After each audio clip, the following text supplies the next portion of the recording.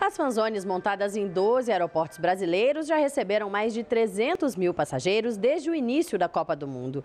Os espaços oferecem entretenimento como futebol de botão e videogame. Também é local para descanso, informações turísticas, internet, Wi-Fi e outras comodidades para os viajantes. Só no aeroporto Santos Dumont, aqui no Rio de Janeiro, mais de 26 mil pessoas aproveitaram a estrutura oferecida. Renata. Obrigada pelas informações, Thaís. Amanhã a gente volta a se encontrar com você aí direto do Rio de Janeiro. Boa noite.